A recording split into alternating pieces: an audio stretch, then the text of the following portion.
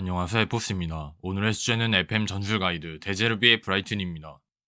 리버풀 가이드를 올린 지 얼마 안 지났는데 명절이 껴서 또 올리는 FM 가이드입니다.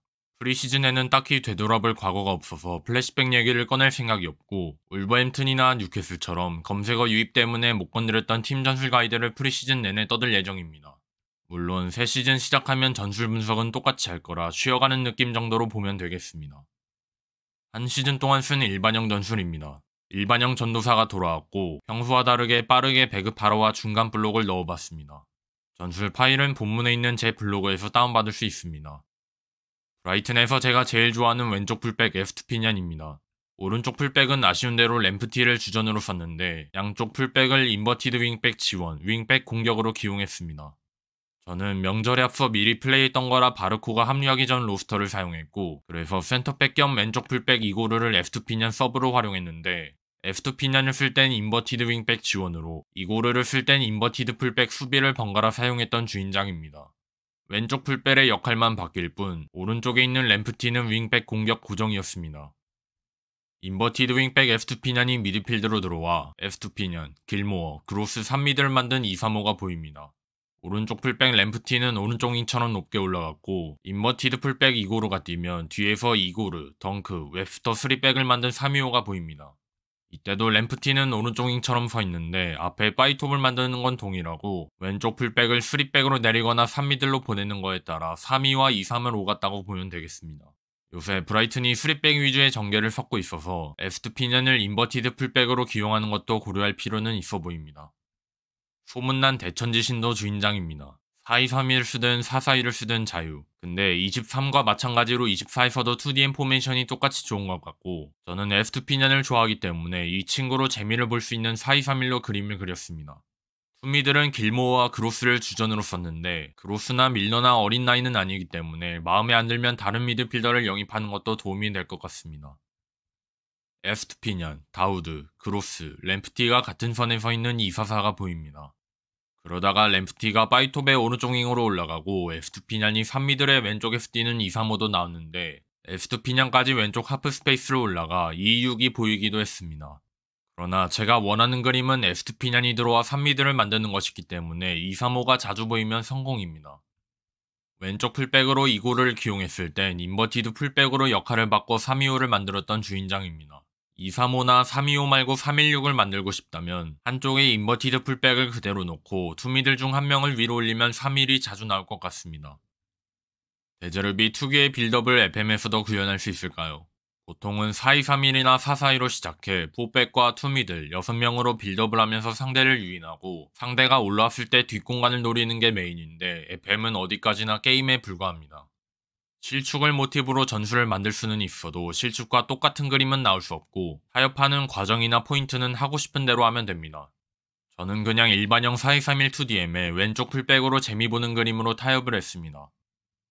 4231중 포백과 two미들이 골키퍼에서부터 빌드업을 시작할 때 그를 도왔고 공격형 미드필더 랄라나는 미토마, 웰백, 마치와 포톱처럼 묶인 모습이 보입니다. 포톱이 상대 포백을 묶고 빌드업으로 상대를 끌어오면서 뒷공간을 파는 데제르비 특유의 빌드업은 완벽하게 따라할 수가 없습니다. 왼쪽 풀백으로 에스투피냥과 이고르를 번갈아 기용했기 때문에 pass map도 차이가 납니다. 에스투피냥이 뛸 땐 244에 가깝게 나왔고 이고르가 뛸 땐 왼쪽 풀백이 3백의 왼쪽 센터백처럼 서 있는 걸로 나왔습니다. 다만 요즘 브라이튼이 3백을 쓰고 있기 때문에 에스투피냥도 inverted 풀백으로 기용하는 그림까지 고려하면 더 좋을 것 같습니다. 제 영혼의 팀인 브라이튼입니다. 정확히는 데제르비만 바라보고 있습니다. 일반형 전술을 좋아하는 건 예전부터 그랬고 홍대병 발동해서 중간 블록을 꺼내봤는데 나름 괜찮았습니다. 먹힐 건 먹히고 안 먹힐 건 안 먹히는 정도의 솔직한 수비력입니다. 점 이후로 원톱의 득점력이 들쑥날쑥해졌는데 deep-lying forward, target man, 압박형 포워드 말고 다른 역할은 아예 배제하고 있는 주인장입니다. 투톱이 확실히 화력은 센데 쉽게 이기면 뭔가 재미가 덜한 것 같고 FM 전술 가이드를 만들 때도 가급적이면 원톱을 선호하는 편입니다. 지난 리버풀 가이드에 나왔던 반다이크와 마찬가지로 이번에는 사우디 형님들이 미토마와 에스투피냐을 괴롭혔습니다. 전술 가이드 특성상 영입이 원칙인데 시즌 내내 주인장인 팀을 괴롭혔고 덕분에 미토마는 주전 왼쪽 윙으로 뛰다가 돈에 눈이 뒤집혀서 안수판티한테 밀렸습니다. 에스투피냐는 제가 브라이튼에서 제일 아끼는 선수이기 때문에 바로 재계약을 해줬습니다. 증명을 해놓고 요구를 하는 게 아니라 일단 요구부터 해놓고 나중에 증명을 하겠다니 저로서는 미토마의 재계약을 들어줄 이유가 없었습니다. 근데 사실 미토마와의 재계약 협상이 결렬된 가장 큰 이유는 감당 불가능한 수준의 높은 요구 연봉 때문입니다. FM에서 스쿼드가 꽤 좋은 브라이튼입니다. 젊고 유명한 선수들로 가득하고 그동안 약팀만 해와서 그런가 주황 패드로 선수 자체를 처음 써봤습니다. 브라이튼 스쿼드의 단점이 있다면 이 젊은 선수들이 성장하는 데까지 시간이 필요하기 때문에 그때까지 안정적인 성적을 유지하는 것이 관건입니다. 애들이 다 크고 나면 확실히 좋은데 클 때까지 기다리다가 속이 먼저 뒤집힐 수도 있습니다. 정말 데제르비는 100% 완벽하고 좋은 감독일까요? 유럽 대항전 경험 부족이라는 치명적인 단점이 있습니다. 또한 이번 시즌은 실점을 워낙 자주 하고 있는데 데제르비가 이것저것 대처하려고는 하는데 스쿼드 depth가 작살난 것도 같이 감안해야겠습니다. 당장은 올여름에 FA로 풀릴 티아고 모타가 더 인기가 많은 것 같고 클롭이 떠날 예정이기 때문에 리버풀이 알론소와 함께 데제르비도 후보로 보고 있다는 얘기가 있습니다. 사수올로 떠날 때 세리에 빅클럽 링크도 있었던 데제르비가 샤흐타르로 넘어갔던 것처럼 의외의 선택을 하는 사람인데 그게 첼시는 아닐 것 같습니다. 인터뷰를 쭉 봤을 때 유독 첼시한테 적대적이었던 데제르비의 stance입니다. 물론 유베도 아닐 것 같습니다. 감독님이 더 좋은 팀으로 가길 바랄 뿐입니다. 1시즌 최종 성적입니다. 리그 4위로 챔스 진출 성공, 유로파는 준우승에 그치긴 했으나 상대가 리버풀이었습니다. 리버풀만 아니었으면 유로파 우승을 노려봤을 텐데 리버풀 상대로 두 골 넣은 걸로 만족해야겠습니다. 조회수가 보장된 주인장의 FM 전술 가이드 시리즈입니다.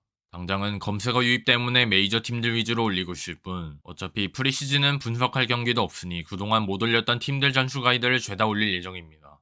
이상할 정도로 브라이튼하고 잘 맞는 주인장이고 스카우트 팀이 FM을 따로 하고 있나 싶을 정도로 특별히 건드릴 포지션이 없었습니다. 대가똥님의 다음 팀이 어딘지는 모르겠는데 저한테는 아이돌 같은 감독이기 때문에 꼭 성공했으면 좋겠습니다. 24버전으로 다시 만들어 본 브라이튼 전술 가이드입니다. 평소에도 대가똥님의 제작 컨셉으로 전술을 만들고 있는데 이번 가이드는 아예 데제르비로 빙의했던 주인장입니다. 젊고 유망한 선수들이 많은 브라이튼 스쿼드였고 이 선수들이 성장하는 데까지 시간이 필요하기 때문에 이 시간이 걸리는 타이밍을 잘 이겨내는 것이 관건으로 보입니다. 이것으로 이번 영상을 마치겠습니다. 시청해주셔서 감사합니다. 재밌게 보셨다면 구독과 좋아요도 부탁드립니다.